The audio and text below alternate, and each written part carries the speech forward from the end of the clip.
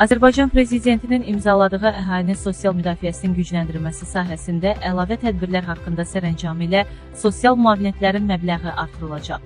Bununla bağlı ortaya çıxan suallardan biri əlilliyə görə pensiya və sosial müavinət məbləğlərinin necə artırılmasıdır. Mövzunu iqtisadçı ekspert Vüqar Bayramov şərh edir. Minimum pensiya artırıldıqdan sonra əmək pensiyaları haqqında qanunun 6-1-ci maddəsində edilən dəyişiklik aşağı pensiya alanların pensiya məbləğlərinin artmasına səbəb oldu. Sosial müavinət məbləğləri isə konkret olaraq müəyyənləşdirilir. Yeni sərəncamla birinci qrup əlilliyə görə sosial müavinət 150 manata çatdırılıb. Əvvəllər bu rəqəm ümumi səbəbdən əlillər üçün 82 manat, müharibə əlilləri üçün 101 manat, Çernobıl AİS-də hərbi xidmətlə əlaqədar və hərbi xidmət vəzifəsini yerinə yetirməklə əlaqədar əlilliyi olanlar üçün 94 manat idi.